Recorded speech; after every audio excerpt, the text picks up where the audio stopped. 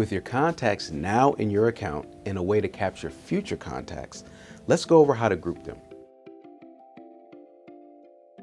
There are three primary ways that you're able to group your contacts in ActiveCampaign, and that's what we want to discuss here. Now, just to set expectations, we won't be going into detail for each one. That's later videos.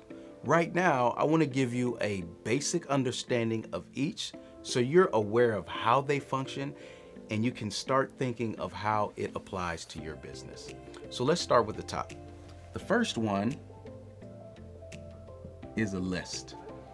This is the one that you most people are probably familiar with. You've heard of lists or email lists. Uh, it's not hard to understand placing your contacts on a list. But it is important to note, we use lists a bit different in ActiveCampaign. I would say we use lists the right way, okay? So let's describe, let me give you a few words uh, to help you understand how to look at lists in the right way. So when I think of lists in ActiveCampaign, I'm thinking of a broad means of grouping my contacts. This means the people on this list have the most in common, right? They have the attributes between the contacts on, on the list does not change very much, all right? So that means it's not only broad, but it's also basic, okay? And I've got one more B for you. It's more than likely going to be big. So when it comes to List and ActiveCampaign, think of it in terms of broad grouping by basic attributes, and it's probably gonna result in a big list. Now that's not a negative thing. It's not something to say, oh, let me keep my list as small as possible. These are just words for you to attribute to each way that you can group your contacts. Next, let's talk about the second one, which is tags. Now, when we talk about tags, we're going from the known to a little bit of the unknown land. Uh, while you may have been familiar with lists, you may not be that familiar with tags. So I've got three words for tags as well to help you memorize exactly how to approach them so you can start thinking about how to use them in your business. The first one is fast. It's getting exciting. Tags are fast. They can be quickly applied and they can be quickly removed. And given that functionality, that makes them very flexible. Okay? I can use tags to do a plethora of things in ActiveCampaign, as you'll see. And a lot of times that functionality is extended by way of third parties.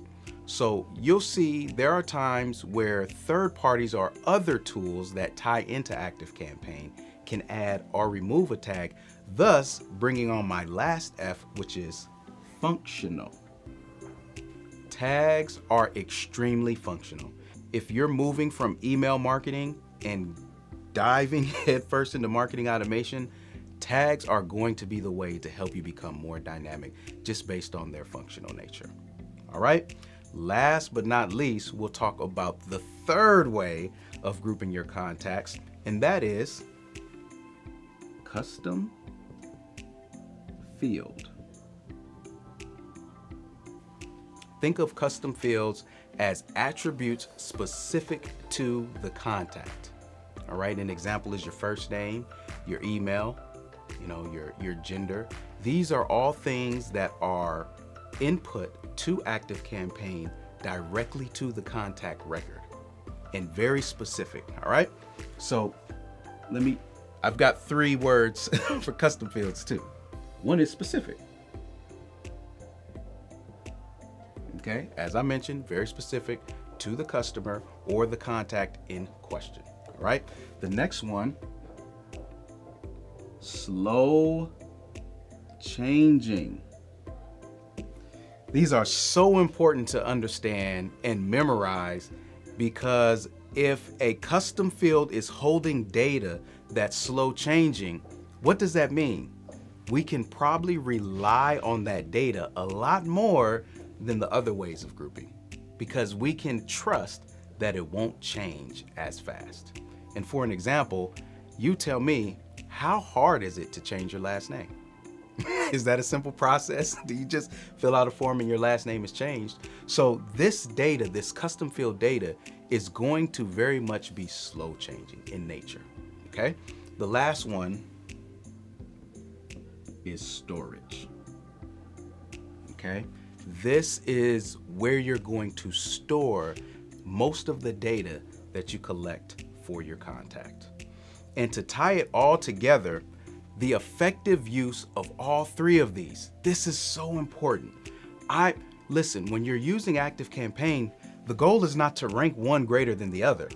The goal is to use them all in sync with one another to create a personalized marketing experience. All right. So the effective use of all three of them, okay, is what is called segmentation.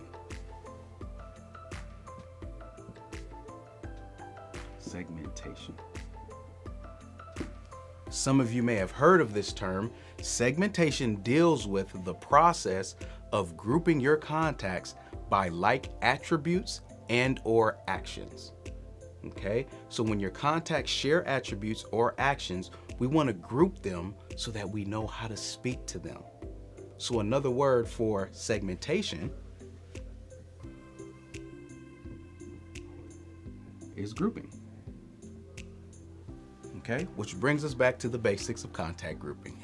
All right, before we end, I, I just want to mention one more thing. Um, as we look at these three ways, one last thing that I want you to keep in mind is that as you go down,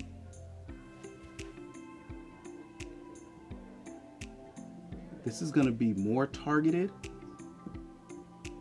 in terms of your messaging, and this is going to be less targeted. And remember, this is going to make sense as you progress through the course but the more information that I can gather on my contacts and effectively group them, the better off I'll be with sending the right message to them at the right time. Remember, the act of grouping contacts with like attributes or actions taken is called segmentation. It is the foundation to personalizing your marketing. The more accurate your segmentation, the more accurate your messaging will be. In the following videos, we'll cover the two primary ways to create segments. That is by using tags and by using custom fields. Check it out.